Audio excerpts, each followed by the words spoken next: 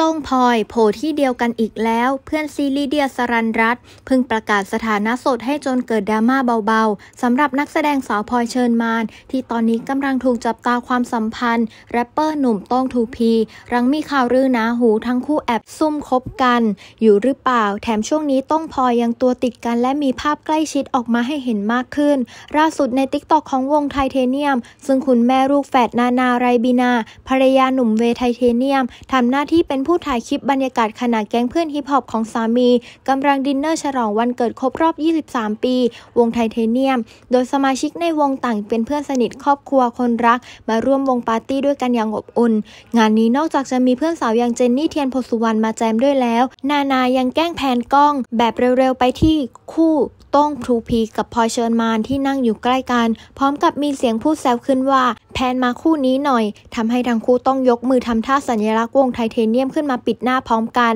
จากนั้นนานาได้พูดแซวขึ้นอีกครั้งในจังหวะที่หนุ่มโต้งเดินออกจากโต๊ะอาหารไปว่า ใครไม่อยากเป็นข่าวออกจากวิดีโอนี้ไปทำเอาเจนี่ถึงด้านขำเลยทีเดียว เพื่อนเพื่อนแซวพี่ขันแซวเปิดตัวซะขนาดนี้ ยินดีด้วยนะคะ เชียร์เลยค่ะ คู่นี้พลอยโต้งทูพีกับพลอยสรุปจริง